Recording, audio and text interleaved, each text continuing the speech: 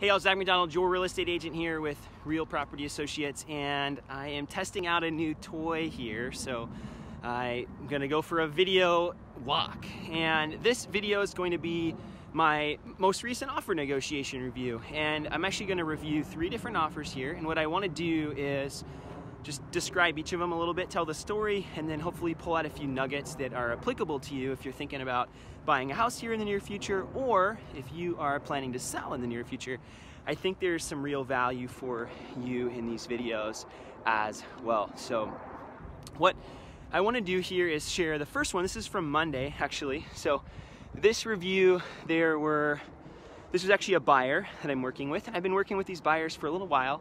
We've made a few offers and haven't had the best luck. Um, specifically, the last two offers, including this one, we ran into a cash buyer. And you don't run into cash every day. There's, I guess the word on the street is that there's so many cash buyers out there, there really aren't. And when you run into one, it's hard to compete against a cash buyer if they're aggressive. And in this market, I found that typically they are. And we just have run into those. So my clients made a great offer.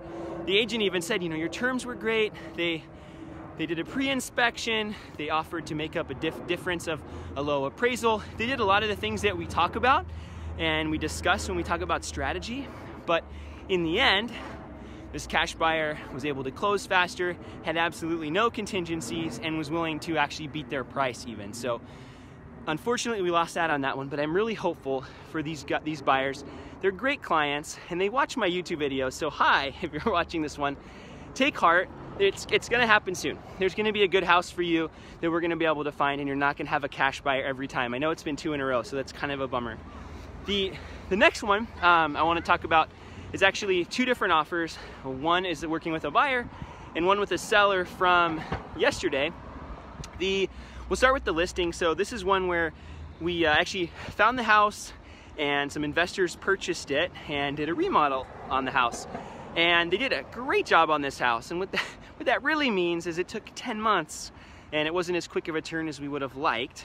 But the uh, this house is in my neighborhood actually. It's a, a four bedroom, two and a quarter rambler, uh, two and a quarter bath rambler everything was done to this house. And you know it has new heating system new electrical all the surfaces have been re-update have been updated flooring paint that kind of stuff. And it's really a sweet house. And we gave it an offer review date one week. And at the end of that offer review date i was kind of i wasn't sweating it because i know sometimes you don't get an offer at your offer review date uh, specifically on the remodels. But we got an offer on that day in the morning, the agent called me right before our deadline. Hey, do you have any offers? And I said, no, please, uh, please bring me one. And so showed her clients, they loved it, made us a great full price offer, and we accepted it. So at this point, we're just kind of waiting for the inspection period to be over and hoping that they want to move forward. I think they will. What's interesting though in this situation is a lot of sellers will panic and start to question, well, I only got one offer. What's wrong with my house? Did we do something wrong?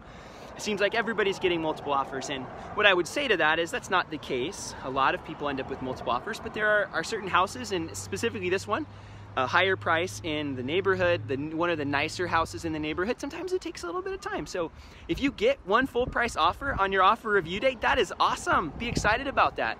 That would be uh, my message if you were one of my clients. Um, that's, that's great. We've, we've had it on the market. This house had this is the, I had the most people I've ever had through an open house probably in a weekend and the most uh, amount of showings in such a short amount of time. So that's all encouraging signs and to get one full price offer just knows we were priced right on right on the spot. So the, uh, the last one here I want to talk about and hopefully there's some value here as well.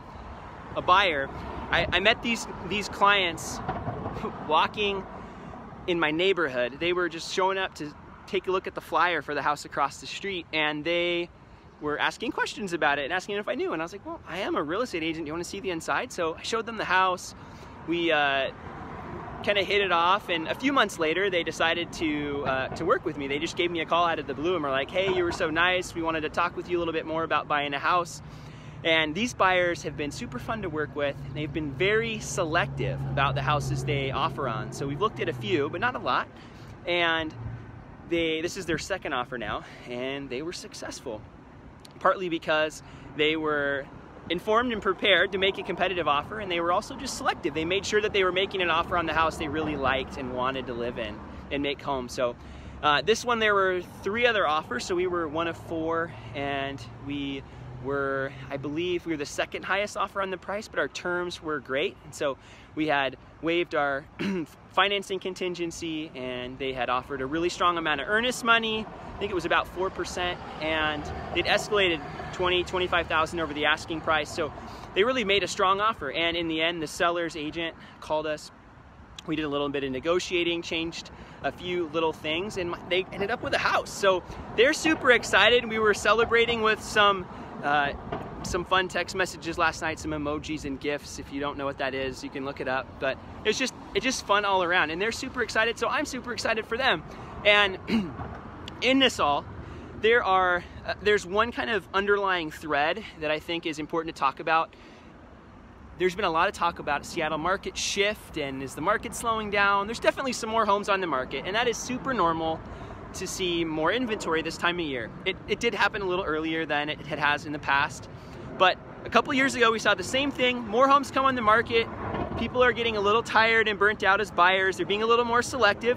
And so you start to see more homes come on, less homes go off, but we're still seeing those, those homes, and I just mentioned two buyers with multiple offers. We're still seeing the good houses go quick and get multiple offers, and we're just seeing some of those other houses that we all know what they are. They're kind of funky, they're on a busy road, they typically sit and they're still sitting. So I'm not concerned about the market and where it's at right now. Of course, I don't have a crystal ball and I and I can't predict every eventuality or every possible outcome, not income. It's just interesting though to, to be able to see that and be on the ground in it. And maybe it's the price point. These buyers are both in that at same five to six hundred thousand dollar price point, super popular. At the higher price points, we're not seeing the houses move as, as quickly as, as we were.